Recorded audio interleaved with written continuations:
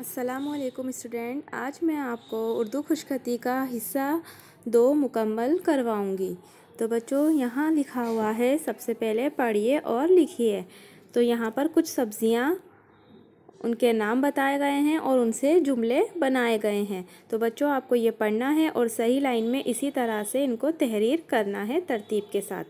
क्या लिखा है? गाजर का रंग सुर्ख होता है। इसके बाद गाजर, सब्ज़ी, मुरब्बे और अचार के काम आती है।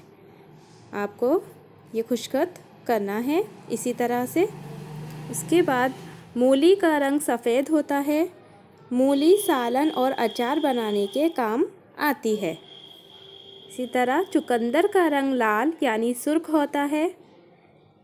इसका इस्तेमाल खून की कमी में बहुत मुफीद है। चुकंदर की बनावट शलजम जैसी होती है। तो बच्चों, ये एक लाइन मैंने लिख दी है। आपको इसी तरह सभी लाइनें लिखनी है, तहरीर करनी है। इसके बाद अगला टॉपिक है आपका, कुछ जानवरों के नाम। तो बच्चों, यहाँ जानवरों के नाम इस्तेमाल करते हुए जुमले बनाए गए हैं, जो आपको पढ़ने हैं और पढ़कर लिखने हैं।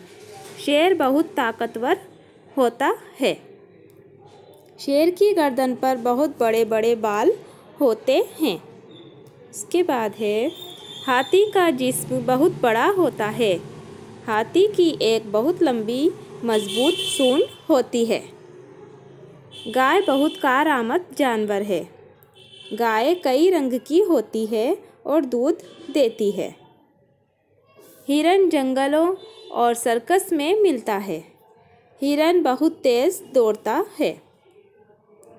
लोमड़ी बहुत चालाक होती है। लोमड़ी की चालाकी के कई किस्से बड़े मशहूर हैं। बकरी बहुत सीधा जानवर है। बकरी हमारे लिए दूध देती है।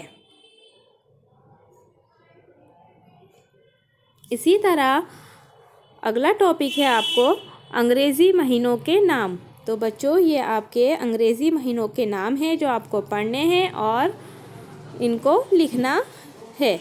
सबसे पहले दे रखा है जनवरी, फरवरी, मार्च, अप्रैल, मई, जून, जुलाई, अगस्त, सितंबर, अक्टूबर, नवंबर, दिसंबर। आपको इसी तरह लिखना है। यहाँ कुछ जुमले भी दे रखे हैं। जनवरी इसमें इकतीस दिन होते हैं। फरवरी इसमें अट्ठाईस दिन होते हैं। तीस दिन वाले महीने। कौन कौन से होते हैं बच्चों? अप्रैल, जून, सितंबर और नवंबर हैं। तीस दिन वाले महीने अप्रैल, जून, सितंबर और नवंबर हैं। तो ये दो लाइनें आपको दे रखी हैं। एक लाइन में तीस दिन वाले महीने लिखने हैं और दूसरी लाइन में तीस तीस दिन वाले महीने। तो बच्चों, यहाँ पर आपका हाफेली का सिलेबस मुकम्मल होता है। आपको ये काम हाफेली एग्ज़ाम से पहले पहले हिस्सा अव्वल और दोम दोनों चेक कराने हैं, तभी आपको आपके मार्क्स दिए जाएँगे। अपना ख्याल रखिए, अपना काम सफ़ाई से तहरीर कीजिए। अल्लाह हाफिज़।